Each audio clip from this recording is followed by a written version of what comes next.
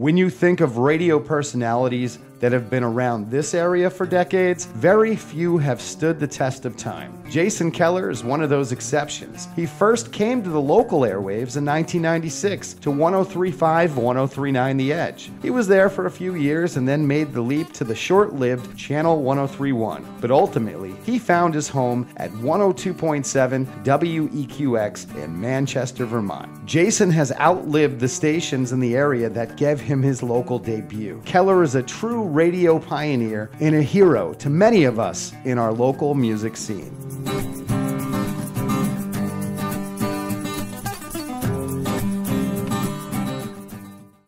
I'm someone who has a passion for radio, for music, for connecting with people. I think that is the the strain of why this happened, the DNA strain of why I'm even in here in this radio station. It just seems like it was bound to happen since I was very young. Not that I don't have other interests or other accomplishments or want to continue to achieve, but there was something pulling me towards a radio station very early on.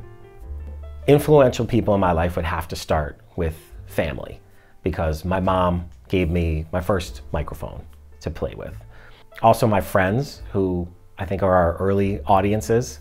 I, I started to get the sense, I'm like, okay, maybe I can take this sense of humor that's getting me kicked out of class and this sort of sharp tongue to find the punchline, and maybe I can turn it into something productive. You need at least one person to open the door and say, this young person has something. And for me, that was Steve Cormier. He was my first actual program director in Burlington. And I was very young, but he treated me with respect. He opened the door.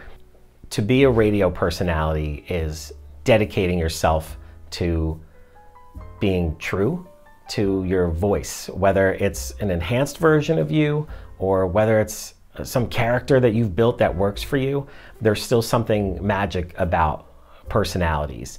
It takes a while to become yourself. That to me is what I've kind of distilled things down. No matter uh, what market you're in, how long you've been doing it, how many zeros are in the paycheck, anything like that, to become yourself, that is the goal.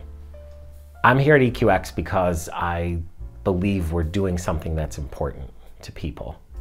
There are lots of jobs to be had, and one never knows where the future takes any of us.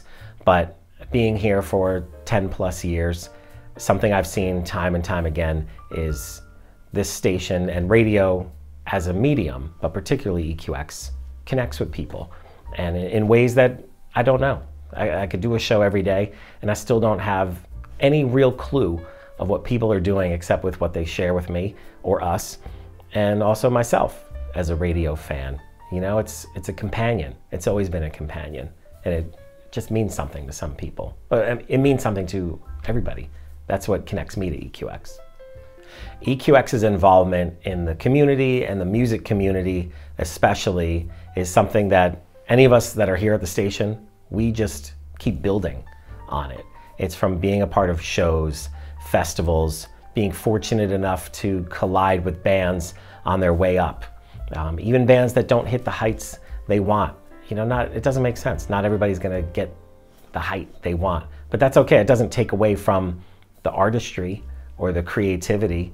And it's a big part of what we do, whether it's the local music shows that we do, EQXposure. We have a feature every day uh, daytime and night, local at 11. So we are always pumping things out. And that's very hard for people to, uh, musicians to crack into FM radio. If you have a dream of being in broadcasting, it's like any other dream. Find out what it takes, what the job opportunities are. You could look at the numbers, you could look at the stats, and then you could say, I don't care. I want to do it. This, this is in me, it has to be done.